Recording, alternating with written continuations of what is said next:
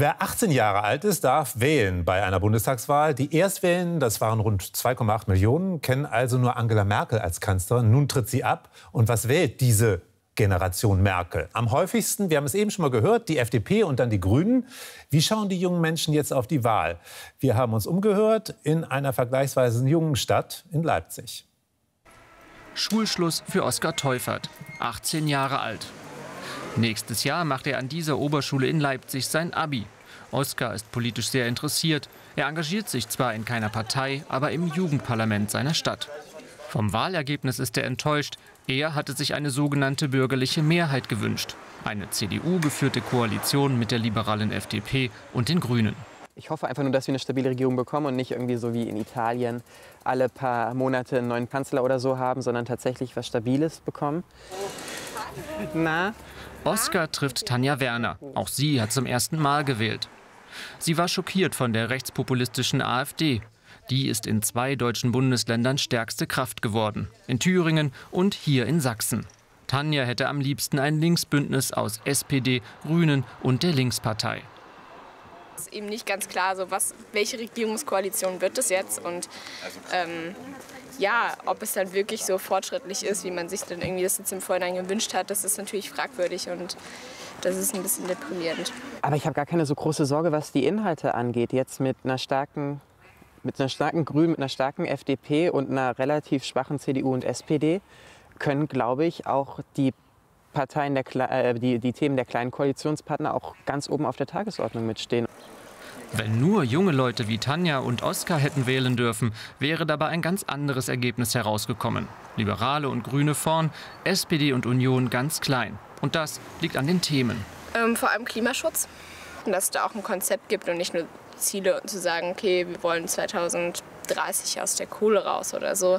Weil das ist natürlich ein Fakt, aber man braucht auch Konzepte dahinter, was man stattdessen macht. Was für mich ein großes, großes Fragezeichen ist, wie werden in 30, 40 Jahren die Renten aussehen, wie wird das alles funktionieren.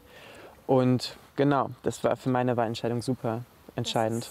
Aufbruch bedeutet nach 16 Jahren Merkel erstmal erstmal die nächsten vier Jahre ohne Merkel zu schaffen. Ich glaube, das wird schwierig.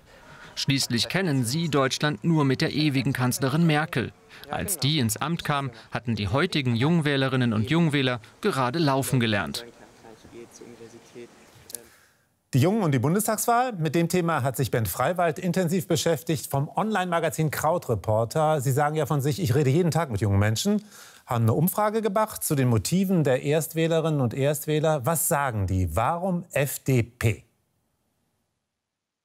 Genau, also diese Umfrage war nicht repräsentativ, aber ich habe mit so circa 18 äh, jungen Wählern, also Erstwähler in der FDP geredet und ich habe so drei Gründe gefunden, warum die FDP gewählt haben.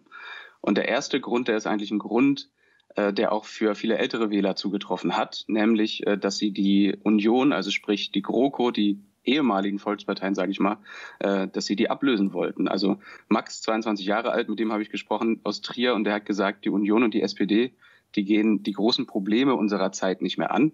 Und die FDP und die Grüne sind die einzigen Parteien, die eine Zukunftsvision zeichnen.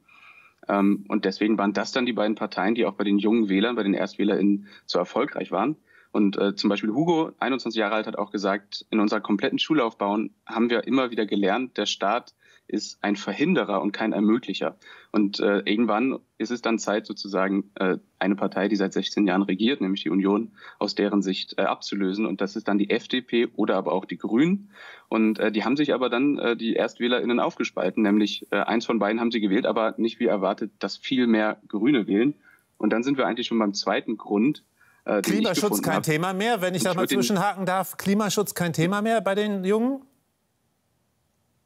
Äh, doch, auf jeden Fall. Also Klimaschutz ist ein Thema, aber es ist nicht das einzige Thema. Und das zweite Thema, das große Thema auch, bei denen, mit denen ich gesprochen habe, ist finanzieller Wohlstand und aber auch, wie das mit Klimaschutz zusammengeht. Und dann sind wir eigentlich schon bei Punkt zwei, nämlich die Frage ist ja, wie erreicht man denn das, diesen Klimaschutz mit finanziellem Wohlstand zusammen? Und das, was ich gelernt habe in den Gesprächen, ist, äh, dass die sagen, na, die Grünen, die setzen sehr auf Verbote, die setzen sehr auf Regeln und denen ist aber Eigenverantwortung viel wichtiger, also Selbstverwirklichung. Und die FDP ist so eine ganz klassische Selbstverwirklichungspartei. Also Max, der FDP-Wähler, mit dem ich geredet habe, der hat zum Beispiel auch gesagt, niemand sollte mir vorgeben, was ich zu tun habe. Und das da passt aber auch also, wenn ich Sie unterbrechen darf, ganz kurz, da haben also die Werbesprüche der FDP bei den Jungen wirklich durchgeschlagen. Total. Also ob das jetzt so ist, dass die FDP das wirklich einlöst, weiß man natürlich nicht. Aber es passt zu dem, was zum Beispiel die Shell Jugendstudie herausgefunden hat, dass 79 Prozent der jungen Menschen in Deutschland äh, davon ausgehen, dass man in Deutschland nach seinen Fähigkeiten und nach seiner Begabung ausgebildet werden kann. Also nach dem Motto, wenn ich das was will und wenn ich mich anstrenge, dann werde ich auch was in Deutschland. Sie bearbeiten ja das Thema junge Leute und Bildung ganz sehr intensiv. Wie sehr haben die Folgen der Corona-Pandemie nach Ihrem Eindruck das Wahlverhalten bestimmt? Also in den Gesprächen mit diesen ähm, FDP-WählerInnen, mit denen ich geredet habe, war das nicht so das riesige Thema. Ich weiß aber auch nicht, ob man das immer so bewusst ist. Was aber auf jeden Fall, äh, im Prinzip ist es so der Gipfel des Eisbergs. Wenn man sich jahrelang äh, hinten anfühlt als junger Mensch, bei einer GroKo. Und dann passiert noch sowas wie die Corona-Krise und man sieht, die Schulen zum Beispiel waren immer etwas, was nicht Priorität hatte. Die, die Politik war nicht für die jungen Menschen, sondern eher für die alten Menschen gemacht. Ähm, und dann kommt noch sowas dazu, wie man sitzt jahrelang in der Schule und hat kein Internet und ist aber ein Mensch, man ist jung, äh, der viel im Internet unterwegs ist. Äh, und dann wählt man vielleicht doch eine Partei, die einem genau das, ob sie es einlöst, weiß man nicht, genau das verspricht, ein digitales Deutschland. Ben Freiwald, vielen Dank für Ihre Recherchen, vielen Dank für Ihre Eindrücke zu den Erstwählerinnen und Erstwählern. Sehr gerne.